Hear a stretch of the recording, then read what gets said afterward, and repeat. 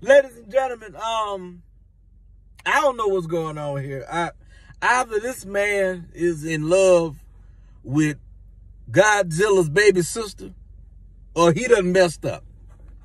Or he done he done messed up big damn time. Like I don't know where where did he find these these these overgrown gargantuan flowers, man.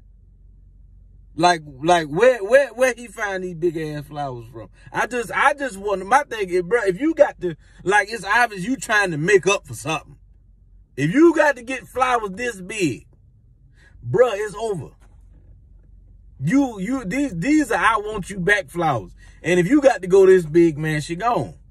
She gone. I'm not trying to be, you know, the bear bad news. I'm not trying to be negative. I'm just trying to be really, bruh, she gone. Let her go. It's all right. Move on. It's okay. She is gone. I I know you figure you get the big ass flowers and everything got to be real, real big. All you gonna get is a big no. If you got to go that big. I know they say go big or go home, but if you if you got to go this big, just go home.